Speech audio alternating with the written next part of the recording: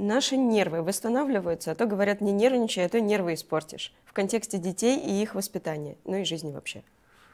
Значит, э, ну, э, э, если спрашивать про нервные клетки, то у нас есть несколько областей мозга, в которых генерируются новые клетки, но это больше всего гиппокамп, и это клетки, отвечающие за формирование новых воспоминаний.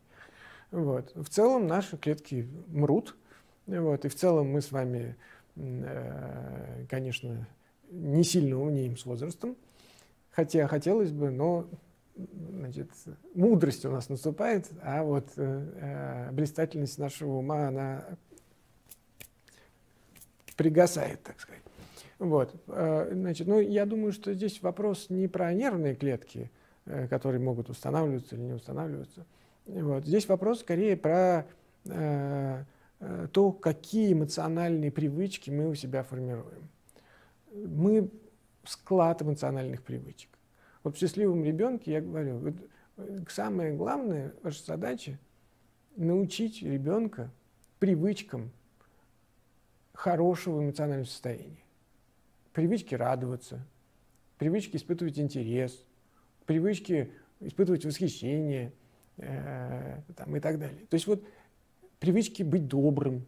Вот эти привычки надо э, формировать. И это касается взрослых то же самое. Нам, как это ни парадоксально, нужно сформировать у себя привычки позитивные. Если мы их сформируем, они вытеснят тревоги, переживания, напряжение, злобу, не там какое-то и прочее.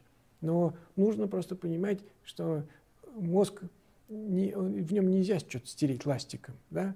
Из него можно просто как-то выдавить да, формированием нового нейронного ансамбля, отвечающего за позитив, за оптимизм, за желание жить. В общем, это надо в себе растить. Мы взрослые, мозг сформированный, но это не значит, что у нас нет шансов перестраивать э, нейронные связи в нем. Есть. Но это отдельная работа.